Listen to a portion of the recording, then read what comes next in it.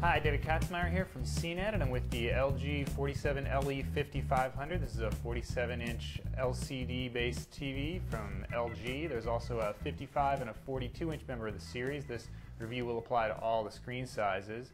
This is LG's first TV with local dimming from an edge-lit configuration. That makes the TV really thin. We'll uh, look at the performance impact in a little bit, but as you can see from the side, this is 1.1 inches deep, one of the thinnest TVs available today. It's also relatively efficient with those LED backlights. The styling on this TV takes advantage of that minimalist appeal. It's kind of all glossy black. There's this stand here with a swivel on it. There's a slight reddish, purplish tinge to the edge around uh, the extreme border of the TV, but other than that, it's a fairly normal looking LCD.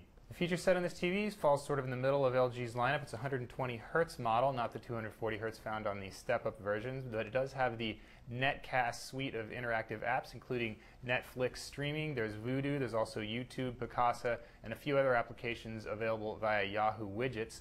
The uh, TV also has an optional dongle for Wi-Fi. We have it included in the back here, so you can see the Wi-Fi works pretty well. There's also a cool little uh, weather-based uh, app on the front. You can actually see what the weather's like in your area as soon as you turn on Netcast. You can see it's a pretty nice day in Las Vegas as usual.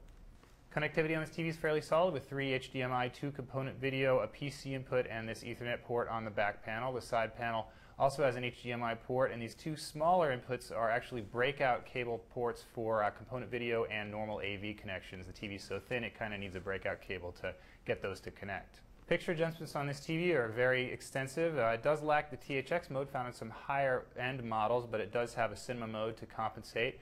There's also two expert modes with a host of adjustments, including a 10-point IRE system. There's also gamma adjustment, a full color management system, and a lot of other ways to tweak the picture. New for 2010, LG also included sliders to control de-judder and anti-blur, although they really didn't work all that well in our testing. Speaking of testing, this TV's performance was sort of mediocre compared to a lot of the other LED-based LCDs this year. Its local dimming is not very precise. It relies on these kind of large zones along the screen. So when one is illuminated and the other isn't, it kind of has some spillover. You can see that in areas like credits where there's bright areas along the screen and then darker areas. The TV also has relatively light black levels in general, so you don't have that nice deep punch uh, when you're looking at darker material or in a darkened room. On the plus side, its color accuracy was pretty darn good in bright areas, but on the minus in darker areas, you actually saw some blue creep into the picture and has the standard issues with off angle and uniformity that we see in a lot of LCDs. So in general, it's really not the best video quality TV we've seen this year, although the style and features are pretty compelling. That's a quick look at the LG 47LE 5500, and I'm David Katzmaier.